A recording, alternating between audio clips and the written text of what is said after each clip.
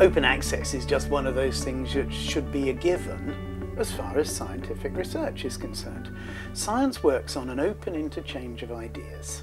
And if things aren't available, then ideas aren't being interchanged. I think it was Oscar Wilde who said something like, you know, the only thing worse than being talked about is not being talked about. Now, scientists want to be talked about. They want their ideas to be talked about by other scientists, other people, and open access promotes that.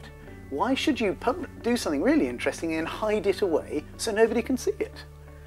Doesn't seem any point in it. So I, I have strong views on, on open access publishing, but really that comes from my own strong views on, on open data. I find it very difficult to understand people who want to keep their data closed when it's been funded by public domain resources for the good generally of, of everybody. I see no reason not to make uh, your data fully accessible. Open access is going to be sort of the, uh, the model that is going to drive the egalitarian distribution of scientific information. And as we go towards uh, increasing globalization, where um, you know, marketing and industry and economies are linked, I think it's a no-brainer that we should also think of ways in which we can link scientific information so that everybody globally can in fact uh, share uh, in the development of knowledge. Over the last year, few years, I've found uh, that the way I use the literature is, has changed completely. Uh, everything now happens with the computer uh, and uh, my normal mode of working is to go to PubMed, uh, search, uh, and then click on the links. When I see one of those little icons uh, for the open access to the, to the, the full document, I'm more likely to read that work. People who do publish in open access journals will find their work being more used and more accessible by a growing group of people, whereas people who continue to publish in closed journals will, I'm afraid to say, have their work dismissed or ignored uh, over time.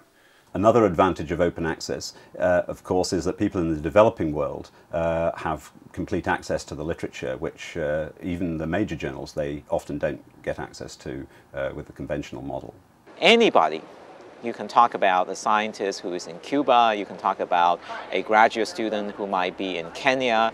You can talk about even your son and daughters, uh, your sons and daughters who might be in high school and doing a science project. Okay, virtually anybody who has access to the web, okay, can read your information and can benefit from your information. Open access publishing is uh, clearly the way of the future for um, libraries and the academic community. I see open access publishing as the first step towards a sort of new future where all of the results of scientific research are available openly and in a coordinated manner.